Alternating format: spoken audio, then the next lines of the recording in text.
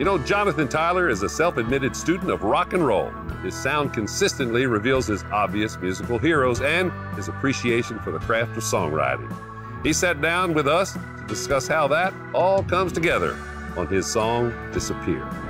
The lyrics on Disappear came one night after I'd kind of been in a fight argument with uh, the girl I was in a relationship with. It just was really simple. It was just the first thought was take your love, take your clothes, pack your bag till it overflows and go anywhere.